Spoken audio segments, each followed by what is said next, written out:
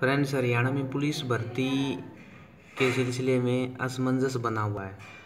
अभी आज खबर आई है न्यूज़पेपर में कि जो पचपन सौ पदों की पुलिस भर्ती है, वो रद्द हो सकती है। ये फ्रेंड्स, अगर आप ध्यान दें तो पिछली साल फरवरी में निकली थी और 24 मई को रद्द कर दी गई थी। फिर दोबारा इन्हीं भर्तियों के लिए 12 जून से 11 जुलाई तक 2017 में आवेदन मांगी गई। कई लाखों ने आवेदन किए।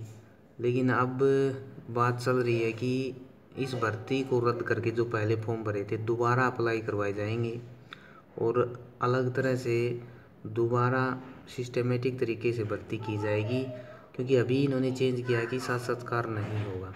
ये अभी सिर्फ़ अखबार में आई है, कोई नोटिफिकेशन जारी इन्होंने नहीं किया है।